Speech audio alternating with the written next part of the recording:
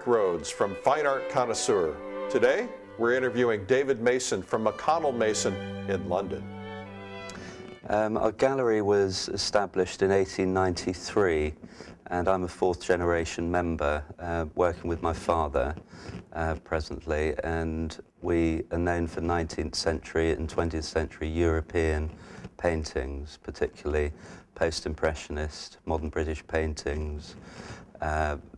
Dutch romantic paintings, uh, English sporting paintings and marine paintings. So we're quite versatile and varied in what we deal with, as well as pre-Raphaelite paintings.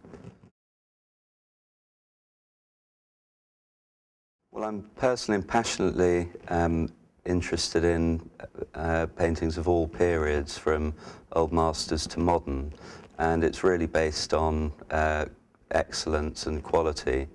Um,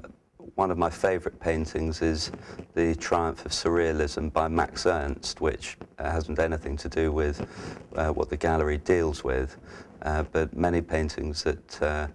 uh, uh, capture imagination for whichever reason it happens to be is a very personal thing and much of what we deal with I'm very passionate about and quite often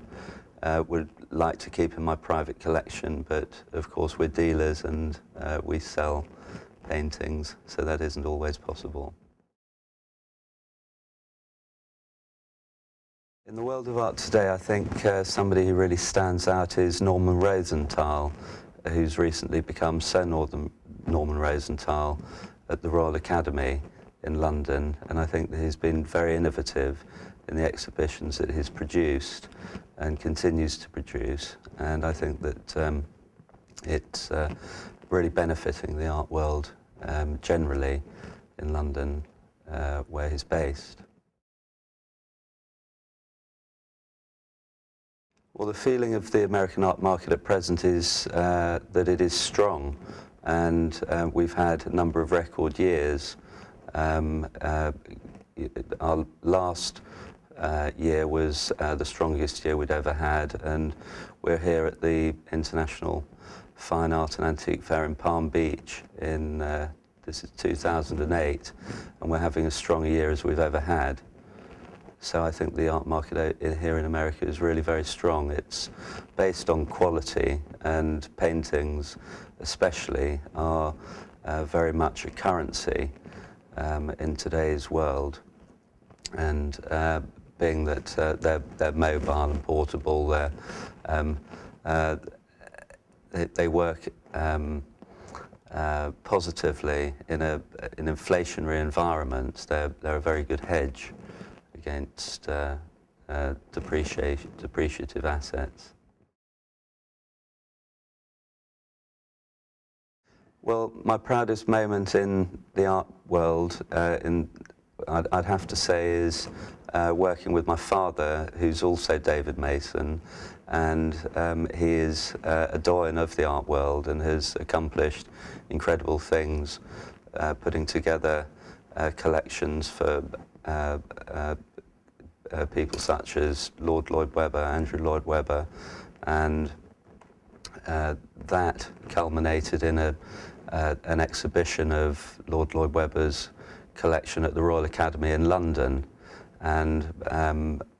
one of my proudest moments was uh, being with my father at the opening of that exhibition back in, uh, I think it's uh, about three or four years ago now.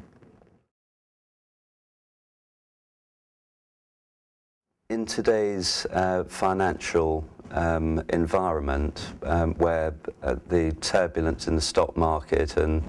uh, the housing market, particularly the subprime market,